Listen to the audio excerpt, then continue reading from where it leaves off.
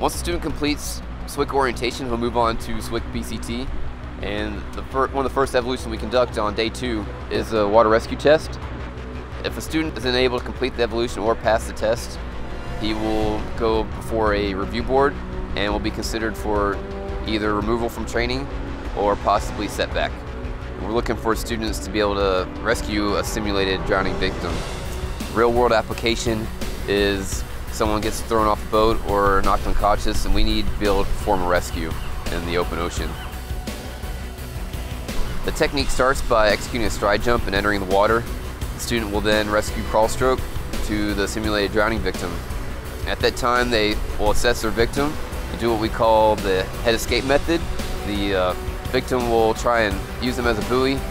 They'll slip the, the clinch, get control of their victim, and put him into a straight arm collar tow. They'll use a straight arm collar tow to plane the victim out. Once they have the victim on plane, they'll transition what we call the cross chest carry. From then, it's a gut check, and they have to uh, complete a 25 meter rescue stroke. If at any time the student doesn't execute the stride jump, the head escape method or the cross chest carry, and the victim is unable to continue a normal breathing cycle, we consider that a failure, and the student will not move on. This is a high attrition evolution.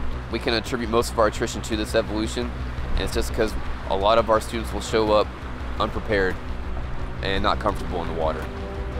One way guys can practice when they're home is they can either uh, consult the total immersion swimming technique.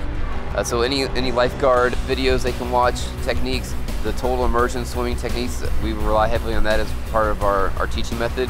So if you can find uh, swim coaches, lifeguarding, any of those things in your local area will, will benefit.